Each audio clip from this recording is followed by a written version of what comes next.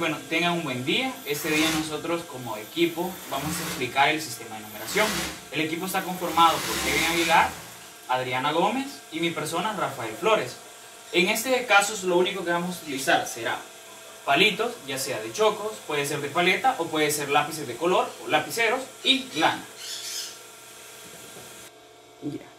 Bueno, entonces lo que necesitamos para este material que se llama ataditos, necesitamos, el ejemplo se va a realizar con el número 14 en número binario. Entonces lo que necesitamos es agrupar de dos en dos los 14 palitos.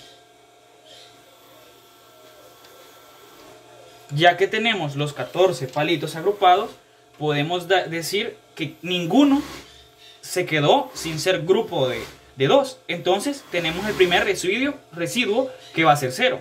Entonces nos vamos a dar cuenta que podemos seguir agrupando. Entonces agrupamos otra vez de grupos de dos y nos damos cuenta de que sobra uno. Y este es un residuo. Luego nos daremos cuenta de que podemos seguir agrupando de dos en dos en dos. Entonces agrupamos otra vez dos y nos damos cuenta que nos queda un residuo. Lo colocamos. Ahora, este no lo podemos ya dividir entre dos, entonces se queda como residuo. Entonces los colocamos. Y nos daremos cuenta de que eh, ya está nuestro número binario. Solo falta recolocarlo, que sería nuestro primer grupo, que sería de residuo 1, el segundo de 1 y 1, y el otro que sería 0. Y si nos vamos ahora a ver el algoritmo de la división, nos daremos cuenta de que 14 entre 2 es 7, que es el primer grupo, 7 entre 2 es 3, 3, nos sobra 1 y si nos damos cuenta nos da el número 1, 1, 1 y el residuo 0. Y nuestro número en binario es este y es exactamente el que tenemos abajo.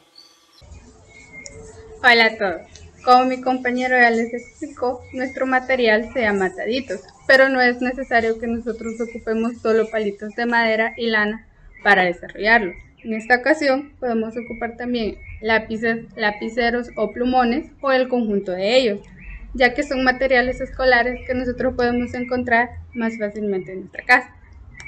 Para este ejemplo vamos a convertir 25 a base 7, por lo tanto necesitamos 25 plumones o colores. Bien, ahora que tenemos nuestros 25 plumones, lo que tenemos que hacer es dividirlos en la base a la que vamos a hacer la conversión. En este caso sería base 7. Lo que nos queda tres grupos de 7 plumones cada uno. Y nos sobran 4 plumoncitos. Ahora, para expresar esto en manera de respuesta, nosotros lo que tenemos que hacer es pasarlo a número.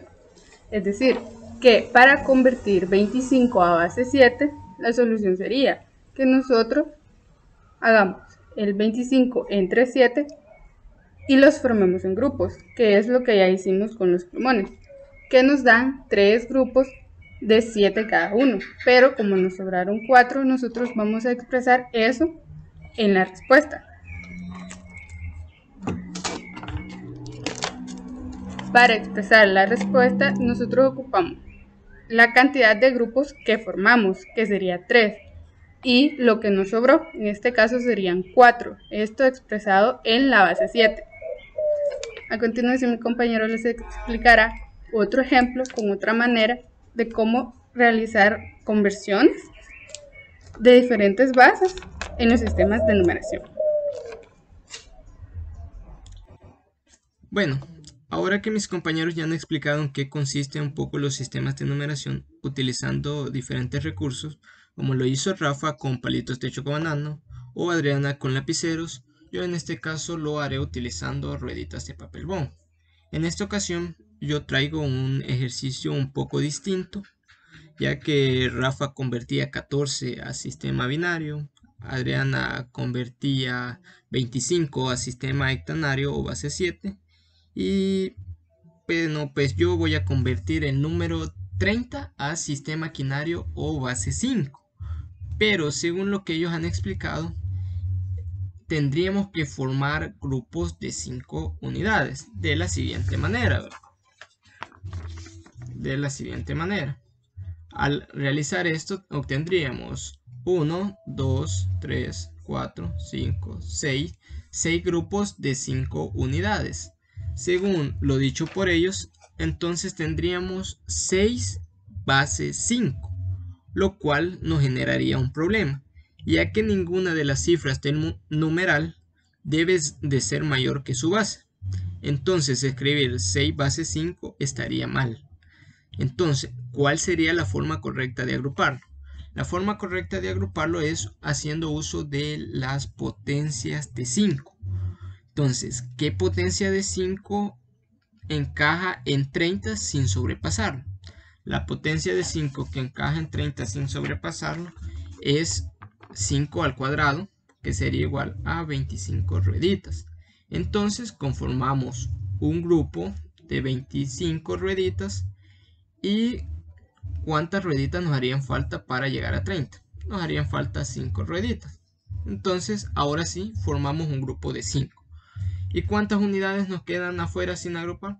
No nos queda ninguna. Entonces, ¿cuál sería la representación de 30 en el sistema quinario base 5?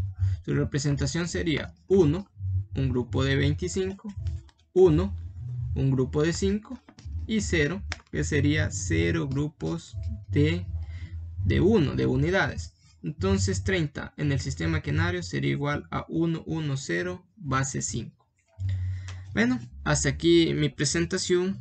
Espero les haya quedado en claro los sistemas de numeración, la utilización de estos diferentes recursos. Agradezco a todos por su atención. Nos vemos en la próxima.